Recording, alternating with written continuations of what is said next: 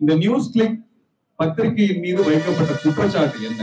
எடுத்து பார்ப்போம் என்றால் அந்த ஊடக நிறுவனத்திற்குள் சென்ற மோடி அரசினுடைய இந்த ஏவல் துறை அந்த பத்திரிகையாளரை பார்த்து கேட்ட கேள்வி என்னவென்றால் நீங்கள் டெல்லியில் நடந்த அந்த உழவர்களினுடைய போராட்டத்தின் போது செய்தியை வெளியிட்டதற்காக அந்த செய்தி பணிகளை ஈடுபட்டதற்காக அந்த நிறுவனம் உங்களுக்கு ஏதேனும் கூடுதலாக பண உதவியை செய்தார்களா என்று கேட்டிருக்கிறார்கள். இந்த செய்தியை வெளியிட்டிருக்கிறீர்களா அல்லது இந்த உழவர் போராட்டத்தை நீங்கள் தொடர்ச்சியாக ஆதரித்தீர்கள் என்ற கேள்வி எழுப்பியிருக்கிறார்கள். ஒரு ஊடகம் போராட்டத்தை ஆதரிக்காமல் வேறு எதை செய்யும் என்பதுதான் நமது கேள்வி. நமக்கு இருக்கக்கூடிய பெரிய பிரச்சனை என்னவென்றால் எல்லா நாடுகளிலுமே ஒரு பிரதமரை தேர்ந்தெடுப்பது அந்த நாட்டை காக்க வேண்டும் என்பதற்காகத்தான். ஆனால் நாம் பிரதமரிடமிருந்து நாட்டை காப்பதற்காக போராடி கொண்டிருக்கின்றோம். அதுதான் இன்றைக்கு நமக்கு இருக்கக்கூடிய மிகப்பெரிய போராக இருக்கிறது. இந்த நாட்டை வேறு யாரிடமிருந்தும் அல்ல மோடியிடமிருந்தும் பாஜகவிடமிருந்தும் ஆர் எஸ் எஸ் இடமிருந்து காப்பாற்றுவது நமது வேலையாக இருக்கிறது. இந்த நியூஸ் கிளிக் பத்திரிகையின் மீது வைக்கப்பட்ட இந்த குற்றச்சாட்டு என்பது அப்பட்டமான பொய்யாக கட்டமைக்கப்பட்ட குற்றச்சாட்டு. அது அவர்களுக்கும் தெரியும் மோடி அரசுக்கு நன்றாக தெரியும். ஆனால் அவர்கள் எதை சொல்ல விரும்புகிறார்கள் என்றால் நாங்கள் எந்த காரணத்தை சொல்லியாவது நாங்கள் உங்களை முடக்குவோம் என்பதுதான் அவர்களது கொள்கையாக இருக்கிறது. தோழர்களே ஒரு பாசிச அரசாங்கம் தன் இறுதி காலத்திலே ஆட்சியை நடத்தி கொண்டிருக்கும் பொழுது அவர்கள் இது போன்ற பயங்கரவாதத்தினை மிக மோசமாக கட்டமைப்பார்கள் என்பதை நாம் ஜெர்மனியிலும் பார்த்திருக்கின்றோம் இத்தாலியிலும் பார்த்திருக்கின்றோம்.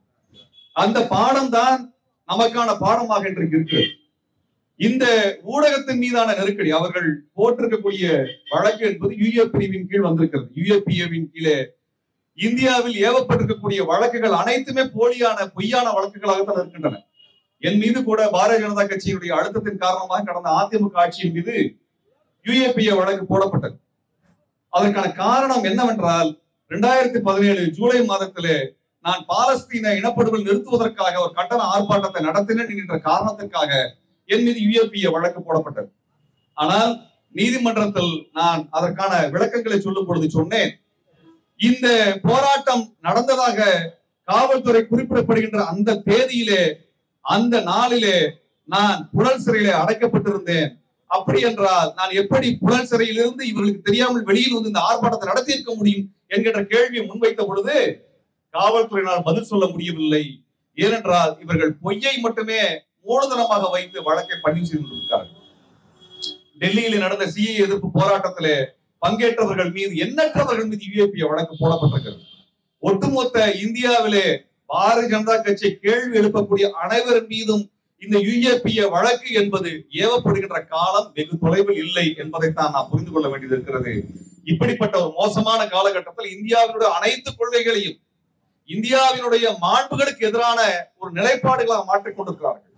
பாலஸ்தீனம் அழிந்து கொடுக்கக்கூடிய காலகட்டத்தில் இஸ்ரேலுக்கு ஆதரவு தெரிவிக்கிறார்கள். இது இஸ்ரேல் என்பது ஒரு இனப்படுகொலை தொடர்ச்சியாக நடத்தி கொண்டிருக்கிறது போர்க்குற்றத்தை புரிகிறது மனிதர்களுக்கு எதிரான குற்றங்களை புரிந்து கொண்டிருக்கிறது என்பதை ஐநாவினுடைய மனித உரிமை ஆவணங்கள் தொடர்ச்சியாக நிரூபித்திருக்கின்றன. இதன் மீது ஒரு விசாரணை வேண்டும் என்று சொல்லியிருக்கிறார்கள்.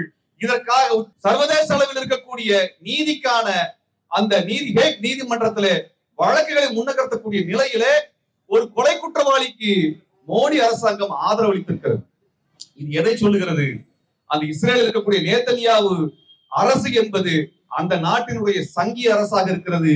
இங்க இருக்கக்கூடிய மோடி அரசாங்கம் என்பது ஒரு இஸ்ரேல் அரசாக இருக்கிறது. இரண்டு அரசுகளுக்கும் எந்த வேறுபாடும் கிடையாது. இவர்கள் எல்லாம் ஒன்று கூடி இருக்கிறார்கள் தோழர்களே. உலக பாசிஸ்டுகள் கைகோர்க்கிறார்கள் என்றால் செம்படையும் கருஞ்சட்டை படையும் நீலப்படையும் இந்த முற்போக்கு ஜனநாயக சக்திகளும் ஒன்று கூடி நிற்க வேண்டிய காலகட்டம் வந்திருக்கிறது.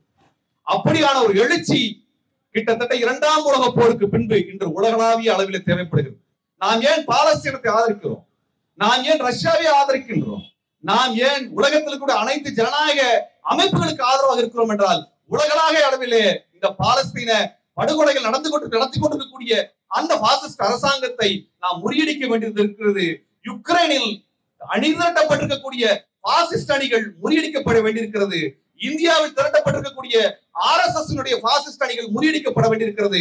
இந்த பாசிஸ்டுகளினுடைய முதுகெலும்பை நாம் முறிக்காவிட்டால் அமைதியான உலகத்தை எங்குமே காண முடியாது என்கின்ற காரணத்தினால் உலகளாவிய அளவில் எழுந்து கொண்டிருக்கக்கூடிய பாசிச எதிர்ப்பு போரிலே நாமும் கைகோர்த்து களம் கண்டு இந்தியாவில் பாசிசத்திற்கு கல்லறை கட்டுவோம் என்று சொல்லி வாய்ப்புக்கு நன்றி கூறி விடைபெறுகிறேன். நன்றி வணக்கம்.